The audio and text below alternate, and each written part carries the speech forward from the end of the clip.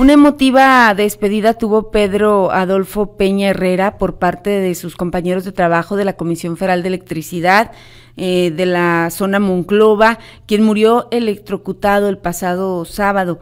Previo a la misa del cuerpo presente la parroquia del Verbo Encarnado, el cortejo fúnebre arribó a las instalaciones de la Comisión Federal de Electricidad, ubicada sobre la avenida Lázaro Cárdenas en la colonia petrolera. Posteriormente, el cortejo acudió a su domicilio en la zona centro de la ciudad de Frontera para después arribar a la iglesia donde se le rindió una misa de cuerpo presente. Nadia Betancourt tiene la información. Nadia, buenas tardes. Silvia, buenas tardes y también a los que nos están escuchando. Pues sí, los restos de Pedro Adolfo Peña Herrera, eh, pues después de hacer estos recorridos que fueron despedidos por sus compañeros de trabajo de la CFE, que también pues estuvieron ahí presentes en la misa de cuerpo eh, presente en la parroquia del Verbo Encarnado y después de pues haber eh, también circulado por ahí por la zona centro de Ciudad Frontera, pues este, sus restos fueron llevados a su última morada, que fue ahí en el Panteón Dolores, también de ese municipio. Y bueno, pues como recordaremos, Pedro Adolfo Peña Herrera falleció a causa de una descarga eléctrica mientras desempeñaba pues sus labores como trabajador de la Comisión Federal de, la, Electricidad.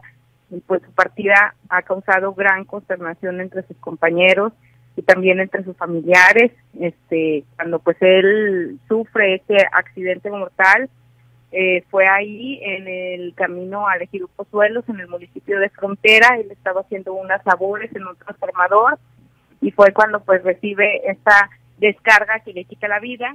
Y bueno pues ahí al, lugar del accidente habían acudido los elementos de protección civil así como de seguridad pública quienes acudieron pues para tratar de dar los primeros auxilios al hombre que desafortunadamente pues ya estaba sin vida.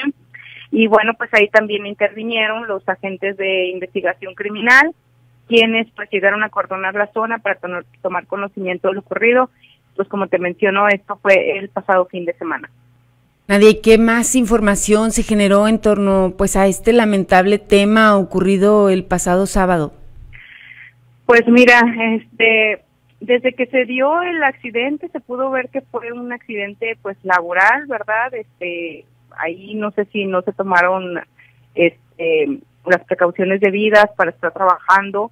Eh, y bueno, pues lo que sí es que pues sufrió, hay una consternación muy grande, por todos sus compañeros de ahí de la Comisión de Electricidad lo conocían muy bien, él ya tenía muchos años trabajando, incluso después de que se da el accidente, pues inmediatamente empiezan a postear a través de las redes sociales, este, dándole el último adiós, también algunas esquelas y bueno, pues despidiendo a este trabajador que ya finalmente pues hoy sería enterrado ahí en el Panteón Dolores, pero pues fue un accidente y pues así se va a quedar.